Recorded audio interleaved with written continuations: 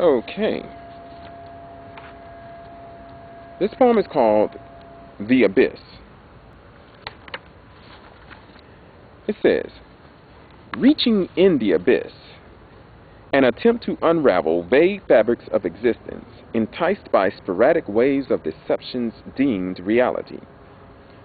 Beauty-filled and angelic, temptation ensnares via passionate reverie briefly united, embellished in a cloud of pleasure-filled, pleasureless moments of infidelity.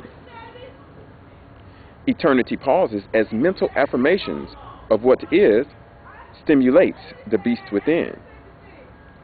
Overturned in depths of emotional concourse, eyes wide shut. Deception takes its toll as the sum of existence defines reality.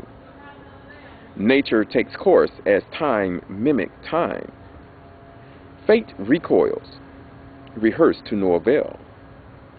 Contours of the heart, callous and emotional savvy, enslaves as death lies wait, asking the rhetorical question, rehearsed to no avail. And that poem is entitled The Abyss. Now, if you notice, that poem, it didn't have any rhymes in it. As a matter of fact, it it had a catchphrase that repeated itself, but it didn't have anything that really, uh, it didn't have a redundancy like most poems that I do. Um, you know, for for a reason. I purposely made the poem where it did not rhyme or anything like that, so that um, I could do something different. And when I did it, I I liked the poem, but it was too hard for me. Not too hard, but it was just very difficult for me to do. I've gotten used to doing poems in a in a um, in a rhythmic fashion. So this was hard. It was a challenge and it was hard. And it's one of the only ones that I've done like that. Okay, I think I've done two in my lifetime that were not rhyming. Okay.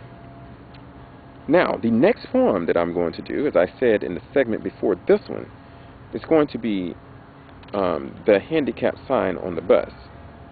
Now, I wrote that, but I don't know if I titled it that, but that's what I'm going to title it uh, for this particular purpose because it was supposed to be a, a description.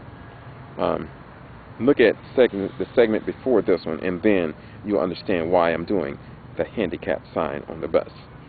Okay. See you on the next segment with the handicap sign on the bus.